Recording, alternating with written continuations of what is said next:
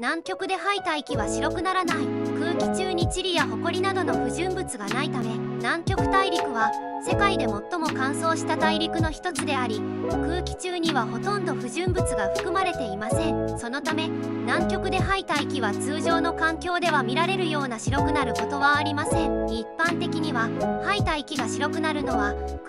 の水蒸気が凝結して微小な水の粒子となりそれが可視化されるためです。しかし南極の乾燥した空気中には水蒸気が少なくまた不純物もほとんど含まれていないため吐いた息が白くなる現象は起こりにくいのです。この現象は南極での息を吐く体験をより特別なものにしています。空気中の不純物が少ないことは科学研究や観測にとっても非常に有益であり南極での研究活動には理想的な環境が提供されています。南極での息を吐くことが白くならないことは私たちに南極の得意な環境を思い起こさせこの美しい大陸の自然の偉大さを感じさせてくれます。